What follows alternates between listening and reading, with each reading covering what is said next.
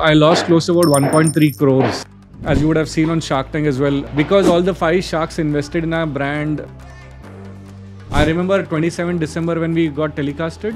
Uh, 28th morning was like a hell. A lot of people commented to me that Ravi, why did you not take you know the investment at a higher valuation, which probably Ashneer and Namita were willing to give you. I and Anuja always have this uh, feeling that we are not giving enough time to our kids.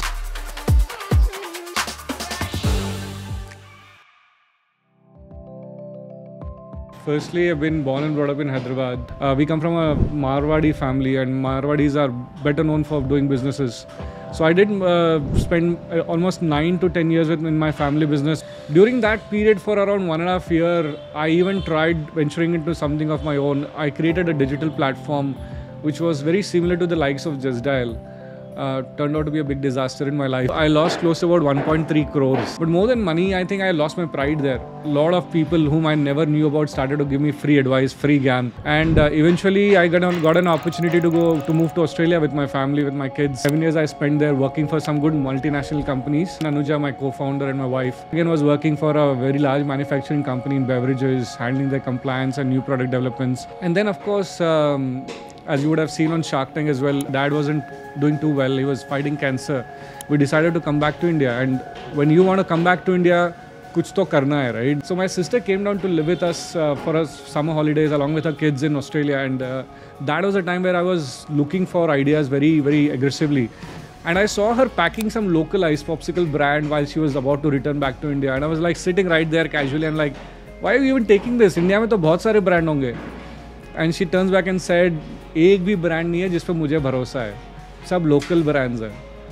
And that was like the eureka moment I start to think about it how come in at such a hot tropical country like India there is no ice popsicle brand where is in countries like Australia U K Canada U S being a cold weather they have got multi billion dollar industries in the ice popsicle segment I knew that I am an F and B guy and I said this is it I want do this we saved a lot of money to start this project. I had invested my funds in uh, liquid assets, which I could dilute very quickly in Australia. We moved back to India. I said, okay, I'm not going to sell at 20 rupees price point, but I'll sell it at 240 rupees price point. I'll pack it up in a nice box and then sell it to our consumers. So my chances of being successful is going to be higher. And that exactly what happened. We set up a manufacturing unit and uh, we see that completely the box idea clicked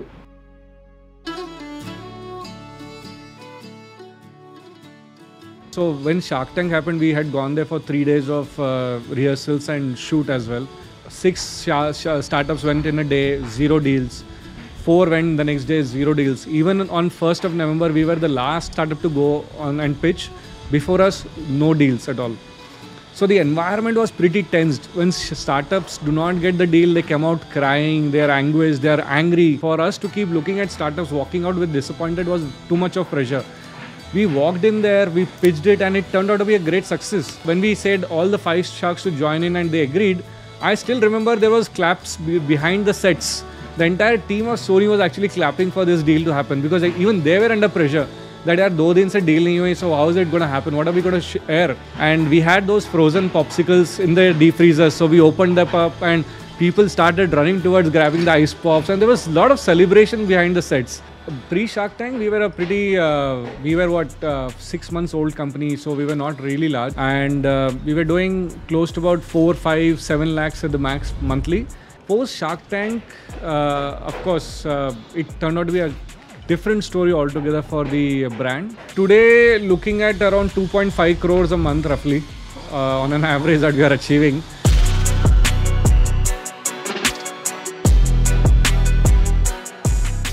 Because all the five sharks invested in our brand. I remember 27 December when we got telecasted.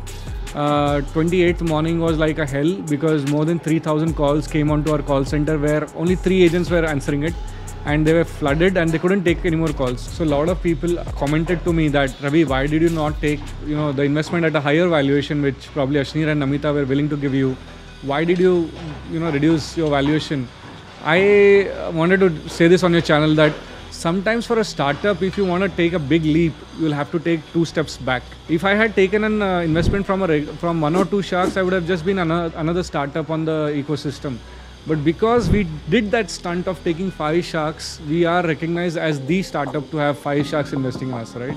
And keeping very close eyes on numbers has made me very sustainable. Today we are a profitable company because I know that from day one for me profitability is everything.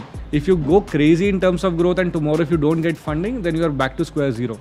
You will have to drill down to the unit economics, the unit itself, unit economic per piece looking as or per uh, per user looking as.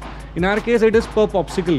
I don't talk to my team about per carton, per truckload or anything. I say per popsicle. Tell me whether we are going to make profit on a per popsicle or a loss. If I'm talking about logistics, I know exactly how much logistics I pay per popsicle.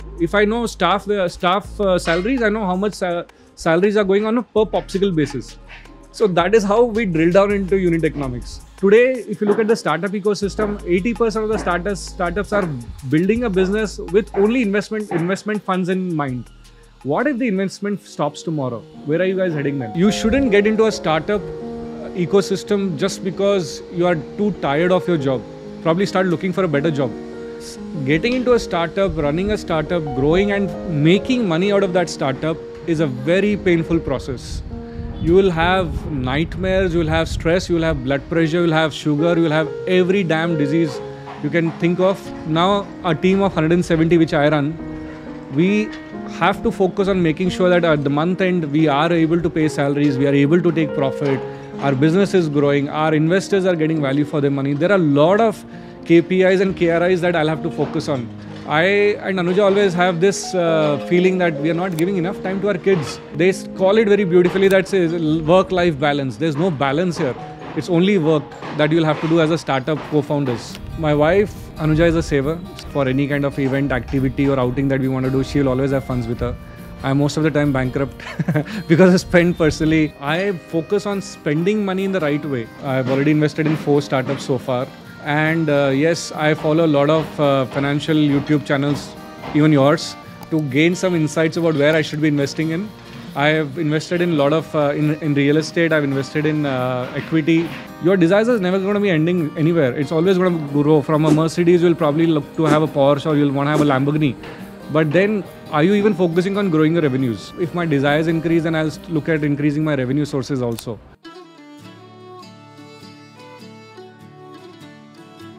Uh, my father unfortunately passed away last year.